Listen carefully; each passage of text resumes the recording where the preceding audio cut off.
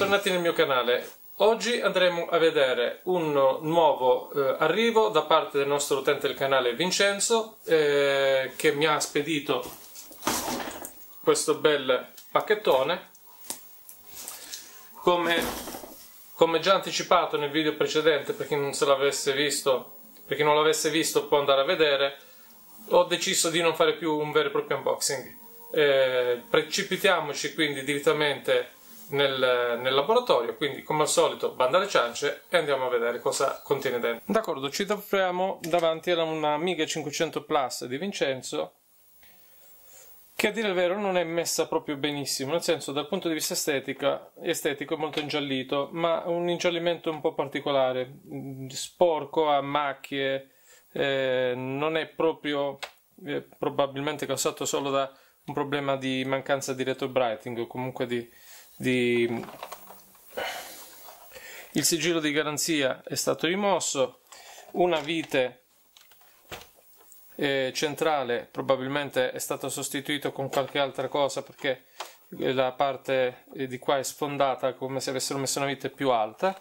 Beh vediamo l'interno in che modo come siamo messi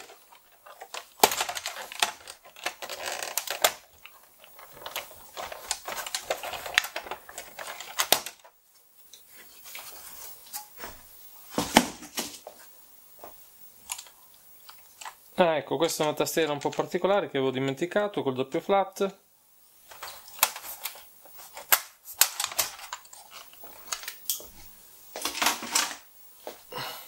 È stata già aperta e purtroppo non richiusa, mancano totalmente le viti per lo shell che è un po' un problema, nel senso che queste potrebbero muoversi e andare a fare cortocircuiti da qualche pista vicina Beh, eh, non è una bella cosa, comunque andiamo avanti. Linguetta saltata, solo questa che è saltata anche adesso, tra l'altro.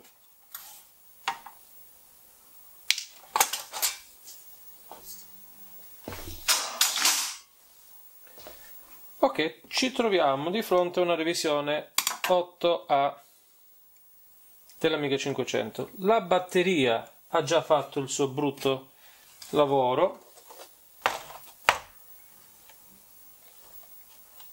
Di ossidazione e spero non abbia causato molti danni. Vediamo che l'acido della batteria ha già iniziato a creare i suoi danni. Vediamo dalla parte opposta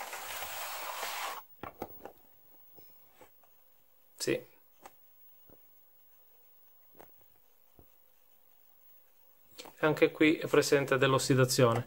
Probabilmente eh, questo ha causato qualche interruzione di qualche pista.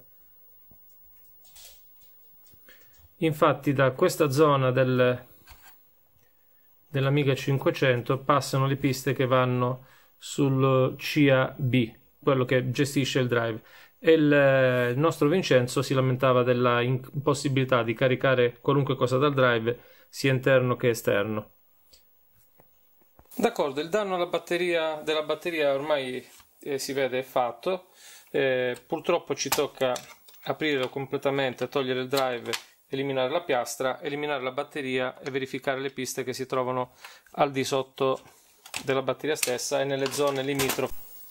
Quindi non ci rimane che eliminare... Ah, sono stati anche eliminati già i, le, le, viti del, del drive, quindi è stato rimosso anche il drive. Insomma, una macchina che a cui è stata tentata, non so se da Vincenzo stesso, una riparazione.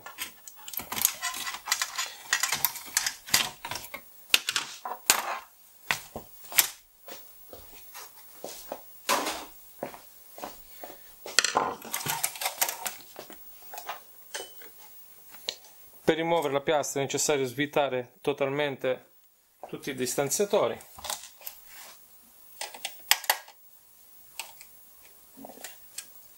Vabbè, non vi faccio perdere tempo, solto trucchetto.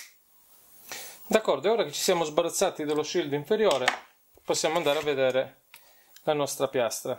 Ok, l'acido non ha toccato il button layer, per cui ancora la sua, il, la sua azione non è, è abbastanza limitata, rimuoviamo immediatamente la batteria, andiamo al lavaggio e poi andiamo a collodare la macchina.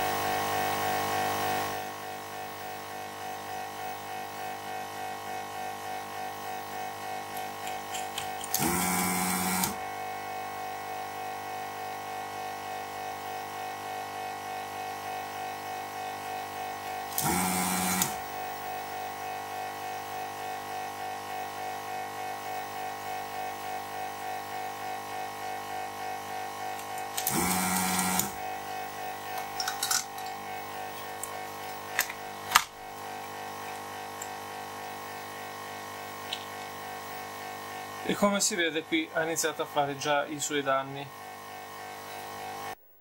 Questa schiumettina qua è parte dell'acido da cui poi parte l'ossidazione questo diodo è ossidato questa pista ossidata anche sul, sull'altro polo c'è un po' di roba. Ora bisogna vedere se eh, sembra apparentemente di no però eh, ogni volta che trovo la batteria delle Plus del 500 Plus in queste condizioni con l'ossido qui eh, trovo sempre qualche pista che praticamente purtroppo è andata via. Non ci rimane che pulire la piastra ritornare e testarla sul banco. D'accordo e qua ci troviamo di fronte alla situazione di prima dopo il lavaggio della piastra. Quindi abbiamo come si vede eliminato l'ossido e l'acido della batteria è tutto pulito rimane ovviamente traccia del, dell'ossido qua ma è andato via per esempio dal, dal diodo e in ogni caso abbiamo bloccato il processo di ossidazione. Per cui adesso andiamo a testare la macchina e vediamo che cosa succede. D'accordo siamo pronti ad accendere la nostra macchina. Avviamola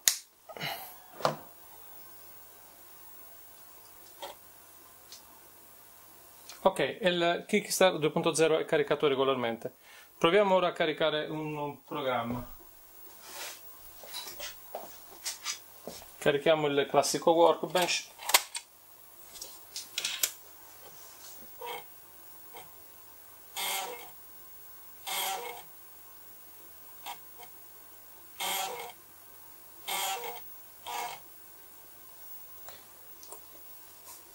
Ok, mi dà un errore di blocco, probabilmente a causa della, della testina, ma eh, comunque l'accesso al disco lo fa. Eh, apriamo il drive e verifichiamo le condizioni del drive. Facciamo la solita pulizia delle testine.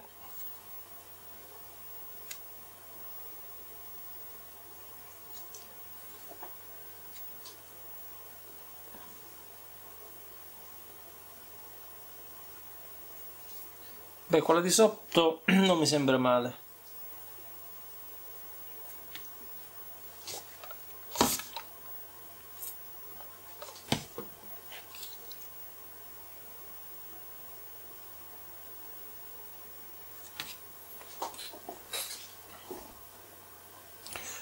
D'accordo, a me il drive non sembra che abbia testine eh, sporche, comunque andiamo a riprovarlo ed eventualmente proviamo prima a controllare l'integrità della CIA del, del, del nostra amiga e poi eventualmente sostituiamo il drive. Ok, la ROM diagnostica inserita, accendiamo.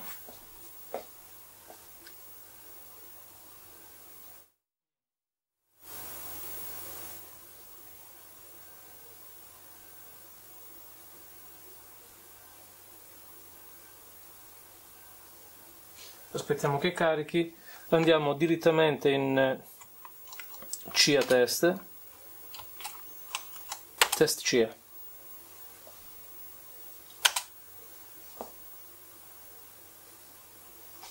quindi la CA è buona. La CB è quella che invece a me preoccupa per il caricamento del drive. E invece no, funziona anche la CAB D'accordo, sembra allora che la batteria non abbia causato il solito danno del, dell'Amiga 500 Plus, probabilmente si tratta di un, un drive veramente pessimo. Allora a questo punto proviamo a sostituire il drive e vediamo se la nostra macchina funziona. D'accordo, abbiamo sostituito il suo vecchio drive, abbiamo messo il nuovo, abbiamo sistemato la batteria, controllato alcune piste del, del CIA e verifichiamo se adesso funziona. Avviamo l'Amiga 1200 e andiamo ad inserire la Fentable.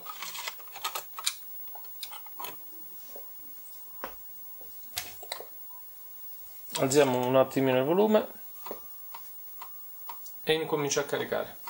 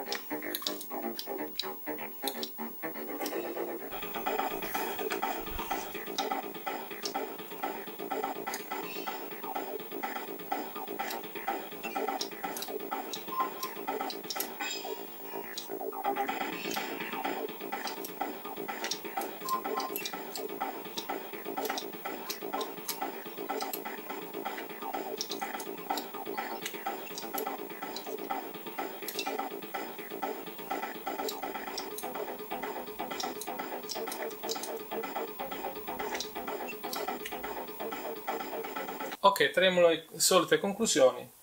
Amiga con eh, Amiga Plus, come tutte le Amiga Plus, con la batteria che ha buttato acido. Fortunatamente non ha corroso eh, le piste, praticamente sono rimaste intatte, è stata presa in tempo. Il problema del caricamento del drive è, è, un, è un problema proprio del drive stesso, neanche di pulizia, ma proprio elettronico. Blocca addirittura il funzionamento delle CIA e, a volte non fa avviare neanche la macchina. Quindi è come se l'elettronica del, del, drive fosse, passatemi il termine, non è proprio esatto in corto. Eh, abbiamo sostituito il drive con un Samsung modificato, un SFD 321B. È un tipo di drive che si vende, ce ne sono, se ne trovano veramente tanti nei vari mercatini. È un drive nato per, per PC, non per Amiga ma è modificabile eh, sia dal punto di vista elettronico sia dal punto di vista meccanico. Di questo però poi ne parleremo una, in un prossimo video, magari dedicheremo un video apposito per mostrare come si fa la modifica sia hardware sia, ehm, sia dal punto di vista elettronico sia dal punto di vista meccanico. A tal proposito ho realizzato eh, su, in, per la stampa 3D il pulsante di espulsione del drive che quello originale ovviamente non è compatibile con l'uscita laterale del, dell'Amiga, eh, l'ho trovato su Twingiverse ovviamente sempre nel mio canale, ma lo vedremo sempre più nel dettaglio nel video che dedicheremo poi alla realizzazione di questo, di questo drive. Che dire, a Vincenzo è andato veramente molto bene, con la scusa del drive non funzionante che bloccava la macchina e non caricava i giochi, ha mandato eh, l'Amiga, abbiamo visto che c'era il problema sulla batteria, abbiamo preso in tempo la batteria l'abbiamo rimossa in tempo prima che, che completasse il suo processo di danneggiamento sulle piste, abbiamo bloccato l'ossidazione del, dell'acido togliendo anche l'acido e quindi bene. Eh, ora non mi rimane che praticamente eh, mettere il, un nuovo drive, chiudere il, l'Amiga e fare in modo che il nostro Amiga 500 Plus torni al nostro utente Vincenzo. Con questo video è veramente tutto, come al solito uh, se il video vi è piaciuto vi invito a lasciare un mi piace qua sotto, se non siete iscritti al canale eh, vi farebbe piacere iscrivervi, questo mi incentiva a fare sempre molto di più e sempre molto meglio come dico ad ogni singolo video. Quindi per il momento è tutto, grazie al prossimo video.